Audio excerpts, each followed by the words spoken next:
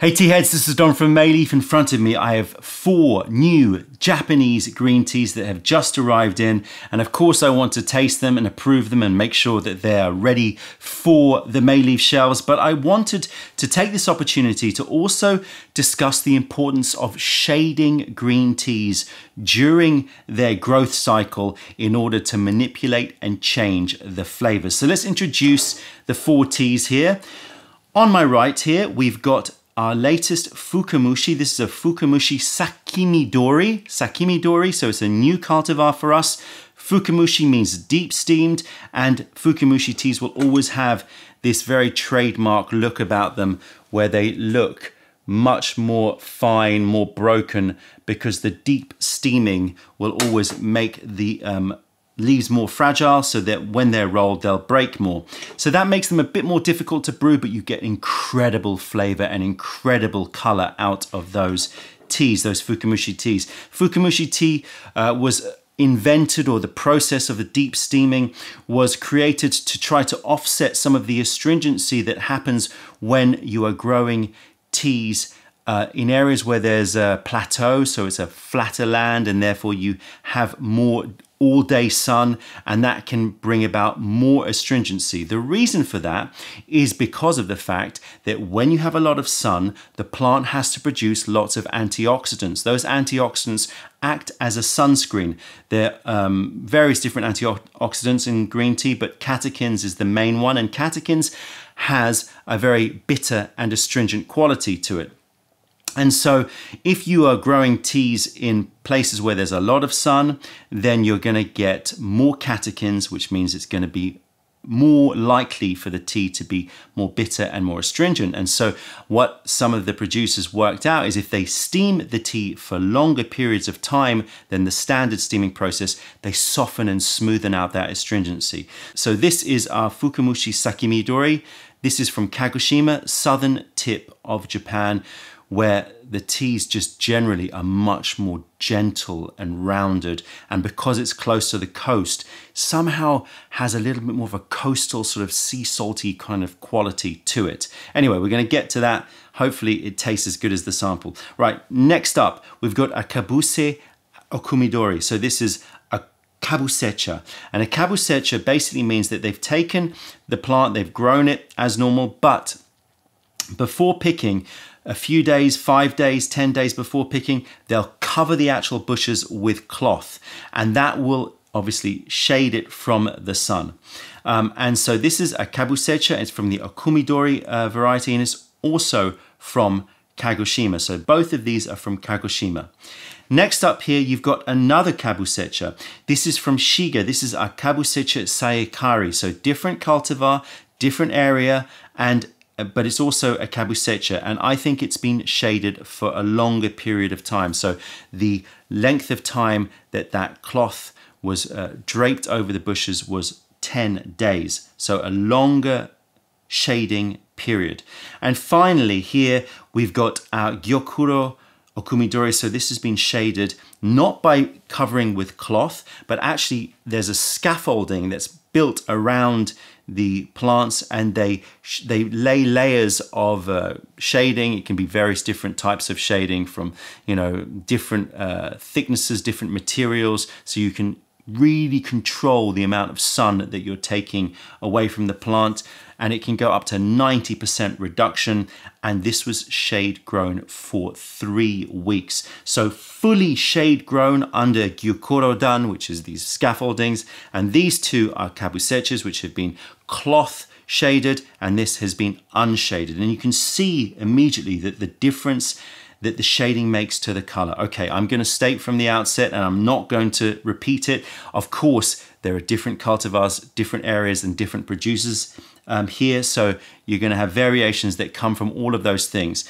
But I do think that there's going to be a trend that we're going to see during our tasting um, with shading and certainly you can see a trend with color. Much more green, the unshaded, all the way to a very, very deep beautiful, glossy, deep color. So you can see unshaded and fully shaded next to each other. Much more green um, compared to this one here, where you're getting a lot more of a dark look about it and we'll see how they look when they have been brewed. So let's talk about the theory of shading before we get stuck into the tasting. So the two chemicals that are key here in this discussion are theanine and catechins. Catechins we talked about, they're antioxidants. Theanine contribute to the growth of the plant amongst other things. So when a plant grows, it uh, it produces theanine. Theanine stimulates more growth. And once the plant has grown enough, then the theanine starts to get converted into catechins. Why does it get converted into catechins? Well, as I said before, catechins act as a sort of protection, especially a protection from the sun. So protection from, uh, sort of a sunscreen in effect.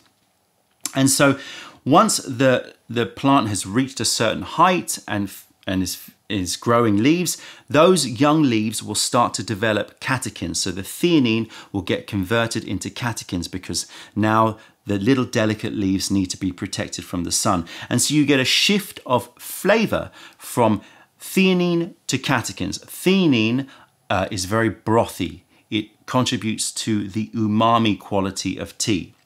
Um, it's uh, basically a glutamate, so it has that savory to sweet quality. It also is very uh, uh, good for your body, helps to boost dopamine, so helps you to feel good. It has a wealth of health benefits. If you want to know about the health benefits of the different chemicals in tea, I'll put a link in the description below that will give you some ideas. But theanine essentially has a very particular taste and a very particular meditative sort of quality about the sensation that it has on the body. Catechins, on the other hand, are bracing, are bright, have an astringency to them, have a bitterness about them. Um, but don't let that put you off because, of course, tea needs that bitterness. You know, any tea that doesn't have that bitterness is weak, is empty. Um, but you don't want too much, of course. Um, However, if you're looking at the health benefits of tea, then of course we always hear about antioxidants, antioxidants, antioxidants. I'm not going to get involved in the minutiae of detail about antioxidant mechanisms, but essentially having a, a, um, a diet rich in antioxidants is considered to be good for you. Um, and so if you want to brew your tea specifically only for health benefits, then you'd brew it strong and you'd brew it bitter. But of course, my approach is brew for taste. That way you'll enjoy it and you'll drink a lot more of it and you'll be getting all of the, the health benefits as a secondary uh, effect of enjoying your drinking. But the catechins are there to protect the plant from the sun. And when we drink them, they have a bright, astringent quality to them and have a slight bitterness to them.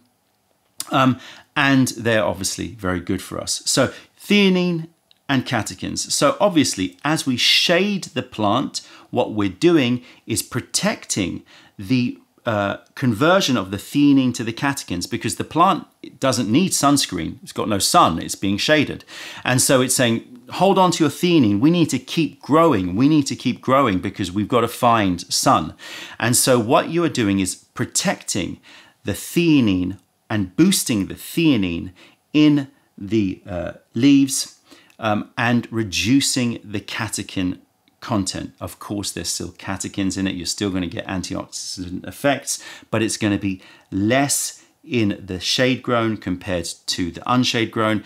And the converse of that is that you're going to get more theanine in the shade grown compared to the unshade grown. And so, in terms of taste, you're going to be getting more umami and more brothy compared to brighter and more verdant. Um, and you're going to be getting more of the sort of meditative feel good effects from the shading compared with the more energizing effects of the unshade grown. Okay, I hope that's given you enough theory. I've got five grams of each tea and I would be brewing normally in my Tokoname clay here, but because I want to try to make things even to do this as a, as a good uh, side-by-side tasting, I am going to be just brewing in 100 ml ones, And I'm going to be um, brewing 5 grams in 100 ml. And I'm going to be brewing all with the same temperature water, 70 degrees. So we're keeping everything standardized. Now, every tea have their own sort of particular brewing guidelines that I would recommend. So you can go check them out in the website. But overall, 70 degrees, 5 grams is going to be okay as a standard for us to compare these teas.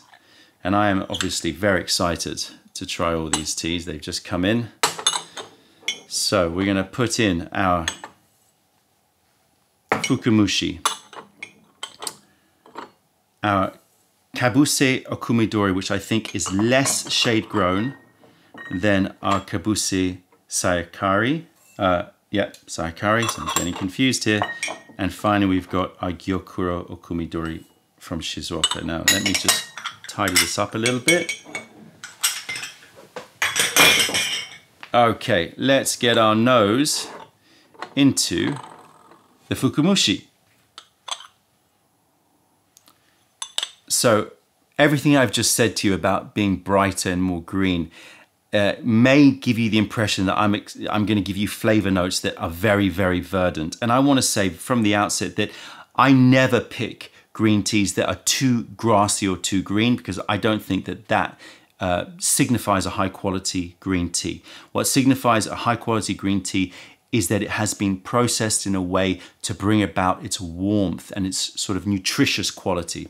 Um, so, oh, straight up my nose. That's the problem with Fukamushi. Um, okay, I'm getting lots and lots of like cherry pie. Um, so fruity, starchy, cereal. I'm getting um, some taro. Um,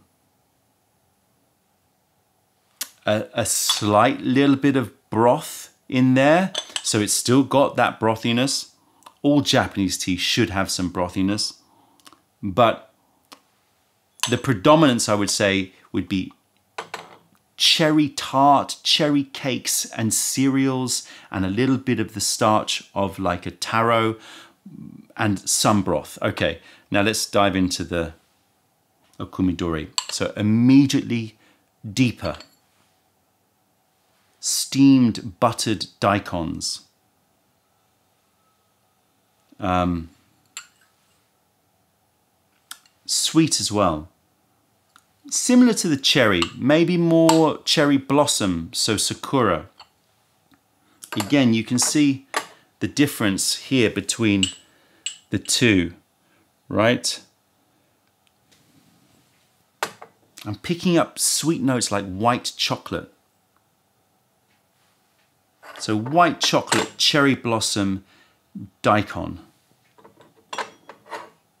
compare these two here so you can see the difference between two kabusechas. Super buttery, super buttery.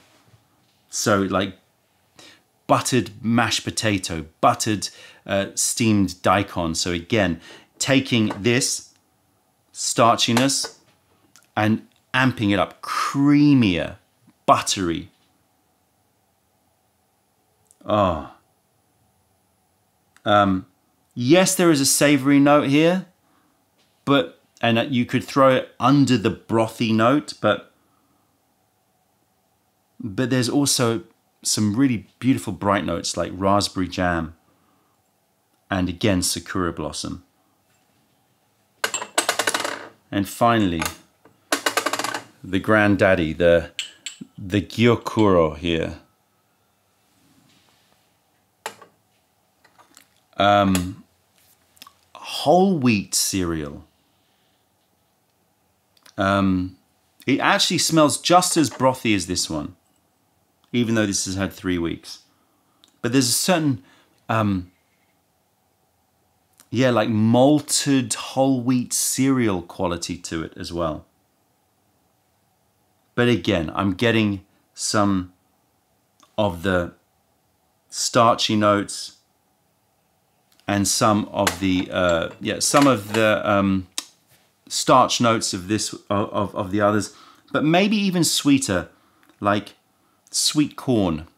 Uh, so buttered sweet corn and a touch of touch of spice,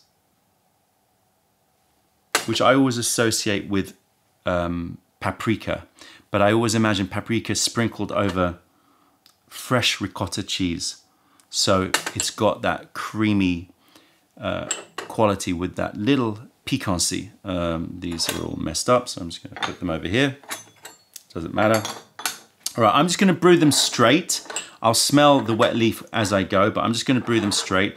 I find with with uh, with Japanese teas, I like to just brew them straight up without rinsing them. And I'm going to pour them in here. Now we're going to be using these filters for, especially for the Fukamushi. It's going to need it. This is a little bit of a mess, but we will try to make it work. And I'm going to try and count 10 seconds in my head. Fast 10 seconds, like one, two, three, four, five, six, seven, eight, nine, 10 before I pour.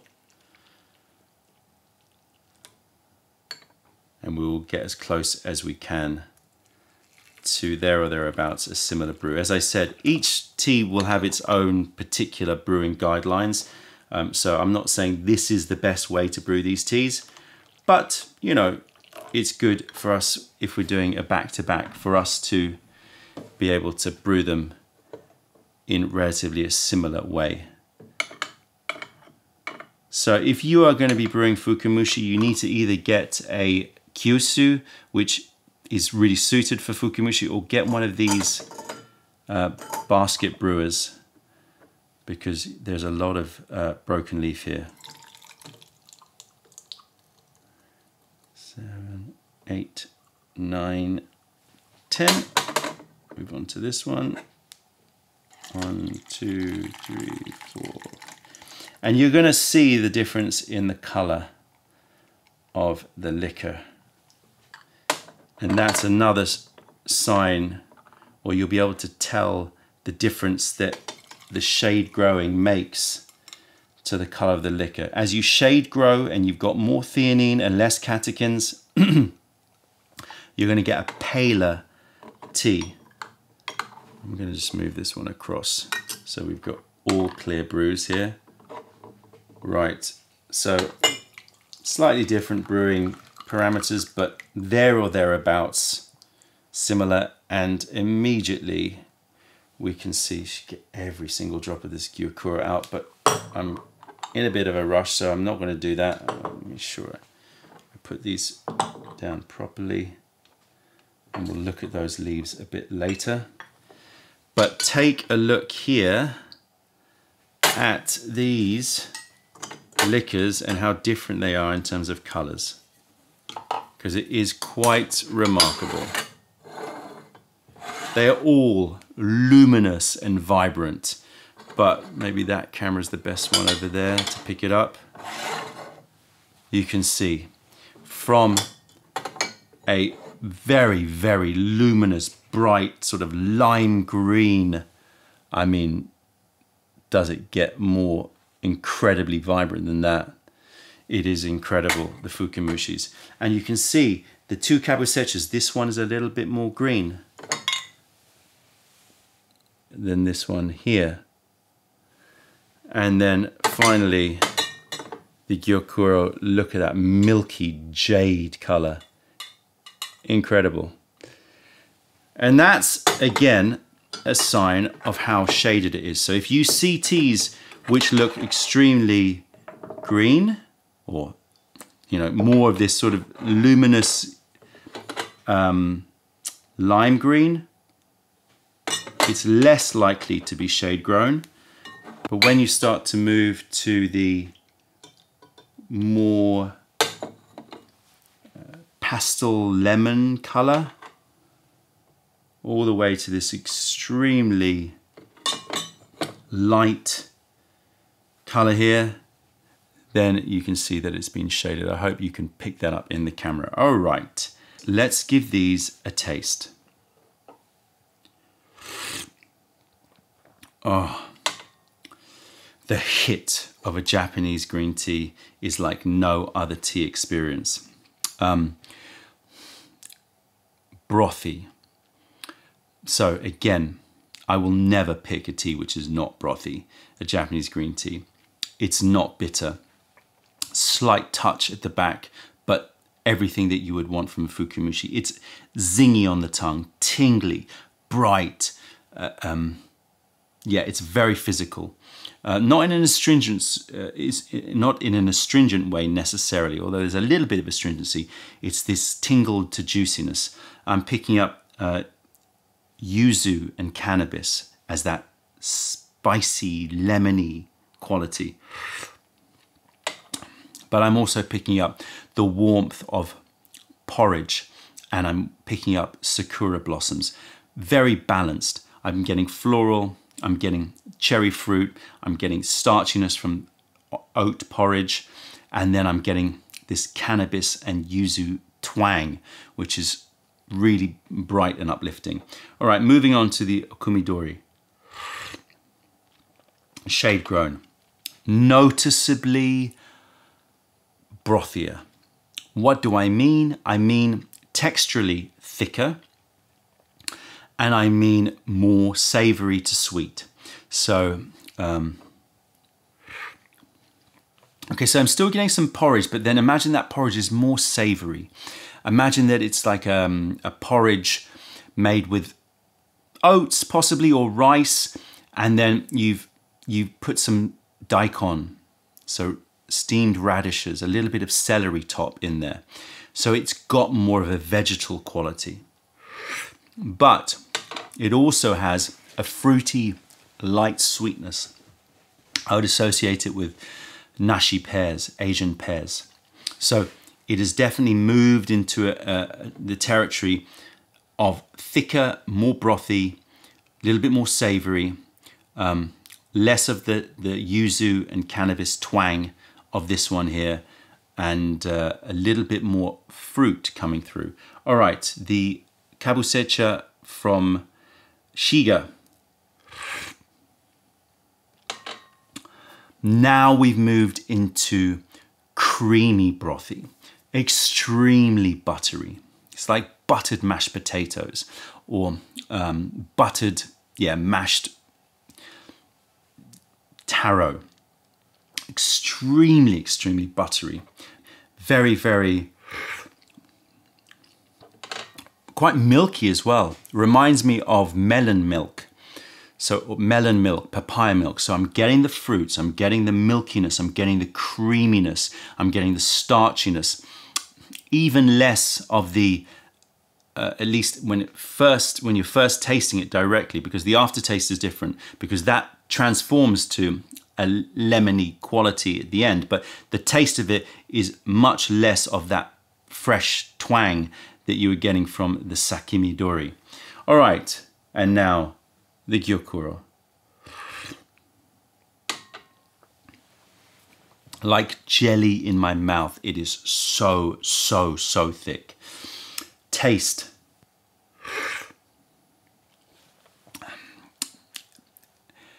It reminds me of a really homely broth like vegetable broth. You've taken marrow and taro and all of these starchy vegetables, but not uh, too thick like marrow, or green marrow, you know, or daikon, but very, very pure, slow cooked broth made with it. It's extremely brothy, extremely um, starchy rounded and jellied. All right, let's give them another round of tasting now that I've tasted all of them. We can pick up a little bit more and then we'll take a look at the leaves and smell the empty Gong Dao Beis. But a noticeable difference in terms of texture from the medium to medium thick through to the thick through to the insanely jellied um, and certainly a difference in flavor profile from rounded but with a little, you know, elements of, of um, well, let's see. Mm, lots of that cherry coming through. Cherry and, um, oh, it's gotten sweeter. Yeah. I'm like getting cherry shortbread, but noticeable astringency, noticeable added bitterness, noticeable brightness, noticeable pulling, and more of that yuzu. Um, less of the cannabis, but more of the yuzu coming through in the taste.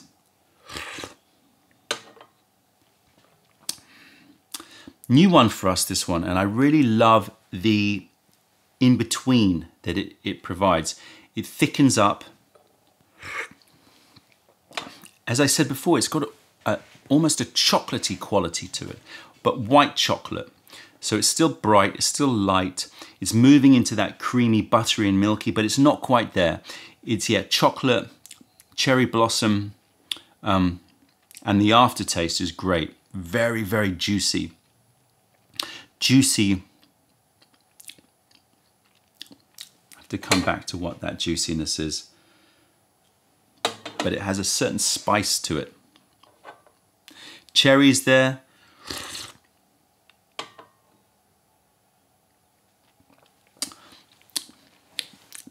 Um, so in the mouth, it has almost a touch of like a roasted quality to it, but just it's so subtle, but it's there, a warmth to it, which is really lovely, a rounded quality, and the aftertaste is cherry and a spice, maybe caraway, very, very sweet.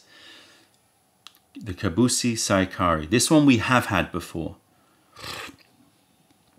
And this is just straight up butter, butteriness, incredibly buttery tea. Um, very smooth. So the, the astringency moves uh, down. So the most astringent, less astringent, etc. But when I say the most astringent, please let me just state the astringency on this is beautifully poised. It is so subtle still but you notice that it reduces even further. Steamed rice, pandan leaves, lotus leaves, moving into that, yeah, just creamier, starchier note.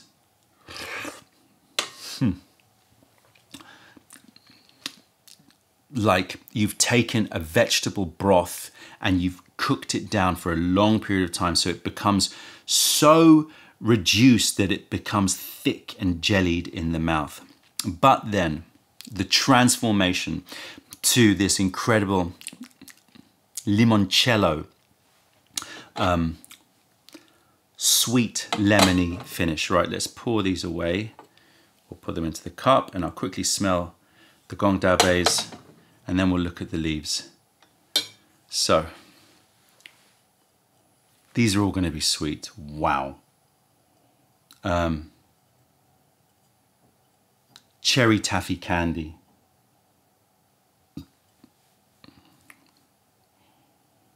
Wow. Cherry taffy candy. Um, it has a cooling note on the nose as well. Reminds me of uh, those glucose tablets that you have. I haven't had it for a while, but you know, dextrose or glucose tablets. When you put it in the mouth, it's very sweet, it's very straight ahead glucose, but it has a cooling quality. Um, and sponge cake. Oh, different, different. Um, meringue, soft French meringues, and some oxidized apple or candy apple. Uh, um, very different again. In fact, on the smell of the empty Gong Dao Bei, it's amazing the difference. Um, cake. I think I, my recollection is I wrote cake frosting previously in previous years. I would say it's it is cake frosting, but with that sponge cake as well. And finally, oh, caramel custard.